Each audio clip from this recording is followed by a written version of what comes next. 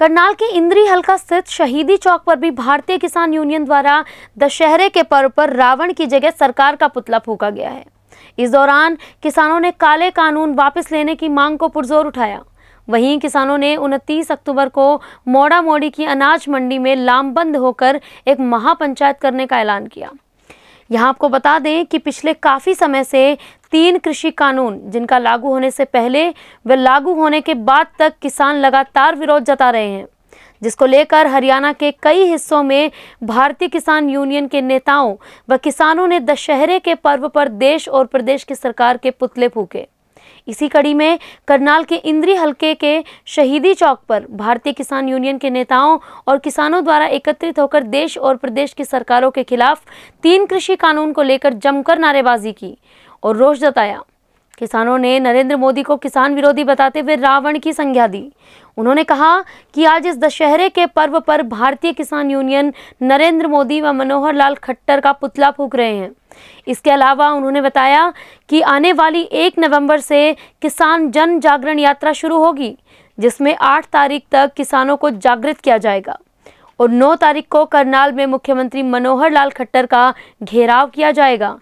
Union के प्रधान ने बताया कि प्रतिदिन किसानों के द्वारा सरकार के पुतले फूके जा रहे हैं, लेकिन यह गूँगी बहरी सरकार को कोई फ़र्क नहीं पड़ रहा है। उन्होंने बताया, यह आंदोलन यूँ ही लगातार जारी रहेंगे जब तक सरकार तीनों कानून पर कोई संज्ञान नहीं लेती। इंद्री से समाचार एक्सप्रेस की रिपोर्ट। कोई किसान पुतले फूक रहा, कोई धरने कर रहा, कोई सड़कें जाम कर रहा, हर तरह से किसान दुखी है। लेकिन यह गूँगी बहरी अंधी सरकार बिल्कुल भी इस पर जू नहीं रेंग रही और ना ये किसान की सुन रही। लेकिन हर रोज़ आंदोलन उग्र होता जा रहा अभी आज पूरे हरियाणा में पुतले जलाए गए, हरियाणा सरकार के, भारत सरकार के, लेकिन इनका कोई असर नहीं। अभी सताईस तारीख को, उनतीस, सताईस तारीख को दिल्ली में मीटिंग है। पूरे भारत के किसान प्रतिनिधि रकाबा साहब गुरुद्वारे में। वहाँ पूरे भारत के किसान प्रतिनिधि आओगे अगले रणनीति क्या रहेगी आंदोलन की? कैसे आंदोलन लड़े जाए? कैसे सरकार झुका? कैसे इसकी ना धरती में रगड़ा? वो सारी रणनीति वहाँ बनाएँगे। और उनतीस तारीख को यहाँ अम्बाड़े में जो इन्होंने किसानों के ऊपर झूठे मुकदमे कर दिए, पीपली जो रैली थी, उसमें झूठे मुकदमे करा के 120 बी तक लगा रखी किसानों के ऊपर। अभी रैली भाजपा की थी नारायणगढ़ में, और भाजपा के ही ट्रैक्टर पर किसान मरिया उसको वीडियो में साफ़ दिख रहा भी वो आर्ट फेल होया, और वो संभाला भी नहीं, वो भी किसानों ने संभाला उसको अस्पताल किसान ले गए। मुकदमे दर्ज बीजेपी के संयोजक जो थे रैली के उन पर ऊपर होना चाहिए था, लेकिन किसानों के ऊपर कर दिए। अभी उनके विरोध स्वरूप 19 तारीख को मोड़ा मोड़ी जो अनाज मंडी है, उनतीस तारीख को सॉरी उनतीस, इसी उनतीस को, उनतीस अक्टूबर को 10 बजे मोड़ा मोड़ी अनाज मंडी में एक बहुत बड़ा जनसमूह इकट्ठा होगा। महापंचायत होगी किसानों की, जिसमें पूरे भारत से किसान आएँगे और गाँव गाँव से घर घर से किसान आएगा। जब तक सरकार उन केसों को वापस नहीं लेंदी या आ नहीं बढ़ दी बातचीत नहीं कर दी तब तक वहाँ इकट्ठे होकर मीटिंग करके, क्या रूप धारण करा वो आंदोलन, कैसा निर्णय ले वो समय बताएगा।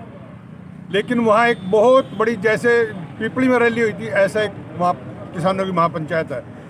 तीसरी बात, अभी जो रोहतक मीटिंग थी, उसमें प्रभात भवन में उसमें एक निर्णय लिया, उसमें चौंतीस संगठन इकट्ठे थे।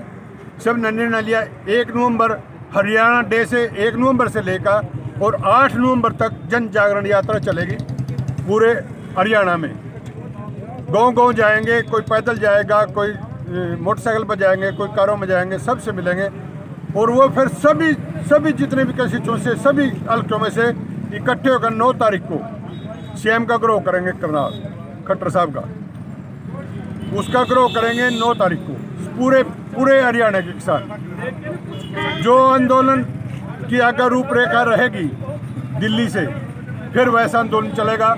एक 26 तेईस तारीख का पूरे भारत का पूरे भारत बंद है। अभी क्या क्या और आंदोलन होंगे इसके बीच में लेकिन जब तक जब तक ये सरकार नहीं सुन ली नहीं वापस लेंगी तब तक आंदोलन चलते रहेंगे। तीन बिलों का विरोध हो रहा है। तीन तीन जो कानून बना दिए इन्होंने उनका विरोध कर रहे हैं। इतना तक वो वापस नहीं होंगे इतना तक किसान चैन से नहीं चौथे लाइन उसमें लिख दो। दशहरे के दिन जो है prime minister of India Narendra Modi का पुतला दहन किया गया है। आज दशहरे के दिन क्योंकि आज असत्य पर सत्य की जीत हुई थी। श्री राम के साथ जो पाप किया था उन्होंने भगवान की जो है पत्नी को उठाया था रावण ने तो उन्होंने आज के ही दिन उनका वध किया था। तो रावण के अंदर अहंकार था कि शायद मेरा कोई कुछ नहीं कर सकता। तो यही अहंकार मैं चाहूँगा कि शायद prime minister of India Shri Narendra Modi ji के अंदर आ गया कि मेरा कोई कुछ नहीं बिगाड़ सकता। तो मोदी जी, आपने कहीं अहम कार्य जो है, भारत के अंदर कहीं अच्छे किए। आप धारा तीन सौ सत्तर हटाई, राम मंदिर लेकर आए, कई कार्य किया हमने सबका स्वागत किया। लेकिन आप किसानों के साथ अन्याय करके आप देश पर राज नहीं कर सकते। जिसने भी आज तक किसानों का बुरा किया, वो मिट्टी में मिल चुका है। तो नरेंद्र मोदी जी, आप जो एक काले कानून लेके आए आप प्लीज़ गौर फरमाए किसान इससे सहमत नहीं है। जितना किसानों को मारना था मार चुके हैं। अब बहुत हो चुका है। हमारे साथ ये अन्याय बंद करें। कार्यक्रम ये हमारा जो किसान आंदोलन चला हुआ पिछले तीन चार महीने से उसका ही एक आज आज दशहरे के दिन रावण का पुतला जलाया जाता है। हमने आज किसानों के रावण का पुतला जलाया, जो कि नरेंद्र मोदी खट्टर सरकार और दुष्यंत चौटाला अहंकारी रावण का पुतला जलाया गया जलाया जाता है दशहरे के दिन। आज रावण की जगह किसानों के जो रावण है दुष्यंत चौटाला, मुख्यमंत्री खट्टर और नरेंद्र मोदी तो इन तीनों का पुतला जलाया गया और जो तीन काले कानून किसान को ख़त्म करने के इन्होंने बना दिए हैं, उसके विरोध में ये पुतला जलाया गया और सरकार अपनी पूरी हटदर्मी पे तो ये जो पुतला बयान किया गया, आज ये भी हमारे आंदोलन का एक हिस्सा ऐसे ही लेटेस्ट खबरें पाने के लिए बेल आइकन को क्लिक कर। हमारे चैनल को लाइक, शेयर एंड सब्सक्राइब करें। धन्यवाद JBD Banquets lie हैं incredible marriage palace Rajgharana and the finest banquet hall Jyoti Garden. World class catering, centrally air conditioned, lush green lawns, state of the art lighting. A perfect venue for wedding, launching and parties. Rajgharana and Jyoti Garden at JBD Banquets Enterprise.